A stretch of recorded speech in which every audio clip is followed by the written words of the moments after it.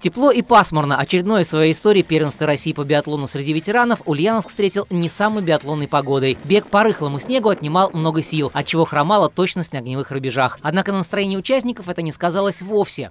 Впечатления великолепные, э, чувство праздника. Безусловно, чувство волнения, адреналин, оно привносит свое и э, заставляет какие-то для себя ставить э, цели, к которым можно достигать и стремиться. 35 лет не выходил на лыжню мастер спорта Советского Союза по биатлону Владимир Шипулин. За это время воспитал двух дочек и сына. Старшая сестер Анастасия стала трехкратной олимпийской чемпионкой. Сын Антон – победителем Олимпийских игр в Сочи. Год назад Шипулин-старший со своей супругой Ольгой решили снова встать на лыжи и взять винтовку в руки. Тяжеловато, тяжеловато.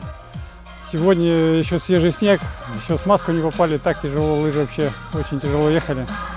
Но, тем не менее, как смогли, так проехали. И все это под руководством еще одной легендарной биатлонистки, олимпийской чемпионки Галины Куклевой. Для нее это второй визит в Ульяновск. Первый состоялся в середине 80-х, когда она только-только начинала заниматься биатлоном. Теперь вернулась на берега Волги в качестве тренера-консультанта ветеранской команды Тюмени. Кстати, впервые в карьере. Была небольшая суета, потому что и одно дело один-два человека, а тут э, пять человек. Это надо за всеми успеть и на стрельбе лежа, и на стрельбе стоя вот всех пристрелять качественно так.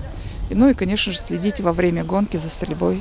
Именно со стрельбой Шипулин-старший как раз и не справился. Семь промахов на двух огневых рубежах оставили его далеко за пределами пьедестала. А в целом борьба в спринтерской гонке во всех возрастных группах получилась жаркой. Единственную для Ульяновска золотую медаль завоевал лидер команды Вадим Трефилов. В этом году ему стукнет 45. Однако с каждым годом его результаты только растут. Человеческий, наверное, организм, он бесконечно сильно населен, и его возможности можно развивать и развивать. Я раз в полгода прохожу медобследование в физдиспансер, и это не только мои внутренние ощущения, это показатели. То есть у меня растут показатели, у меня растет сила, растет мощность. Ну, наверное, правильно подобранные индивидуальные тренировки, правильно подобранный цикл тренировочный, правильное распределение сил. Ну и, наверное, тяжелый труд, Ветеранское первенство России в Ульяновске по традиции продлится три дня. Сегодня в программе соревнований «Мастарт», а завершится первенство в воскресенье, 24 февраля, эстафетами. Михаил Сашанский. Новости Ульяновской правды.